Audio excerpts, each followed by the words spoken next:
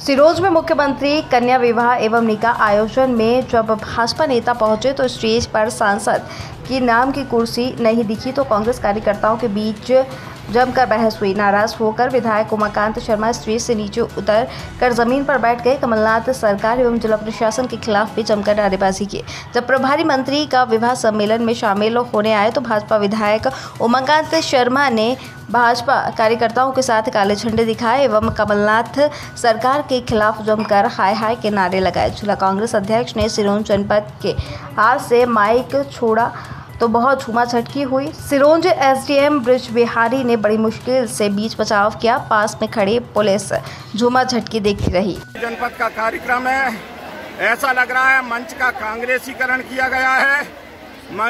ये शासन का निष्पक्ष पक्षपात रहित सरकारी आयोजन है। इसमें दल विशेष के लोगों को, पूरे दल विशेष के लोगों को आप देख रहे हैं। कांग्रेस के मंच में बिठाया गया है। और जो संवैधानिक प्रोटोकॉल है विधायक को बिठाने का अन्य लोगों को बिठाने का उसका उल्लंघन किया गया है। इस संबंध में हमने एसडीएम से बात वो की तो बोले के मंत्री जी से करो। मंत्री जी से बात करे तो बोले के कुछ भी होगा वो तो कोई भी कहीं बैठेगा इससे आपको क्या लेना देना? संवाददाता रिंकू सुमन की रिपोर्ट।